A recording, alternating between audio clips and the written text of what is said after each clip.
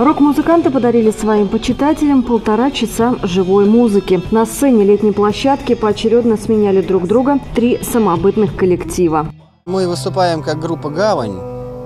Вот, все мы, как бы скажем, музыканты с разных групп. Вот.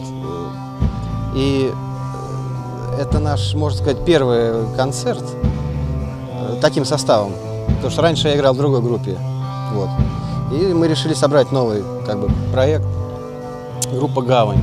«Гавань» поддержала, пожалуй, самая известная ливенская команда «ГОСТ» и коллектив «Гамельнский крысолов». Музыканты представили зрителю известные рок-композиции. В ливенском исполнении они зазвучали по-иному.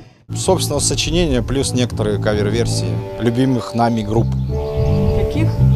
«Черный обелиск», «Замки», кино. День России для нас это праздник нашей Родины, как все это, чтобы ну, Россия, ура, Россия вперед. Концерт – волнительный момент, считают сами музыканты. И тут же сетуют, что интерес к рок-музыке постепенно угасает. Собрать стадион или даже небольшую площадку в наши дни очень сложно. Как подтверждение, небольшое количество зрителей, пришедших на пятничный концерт.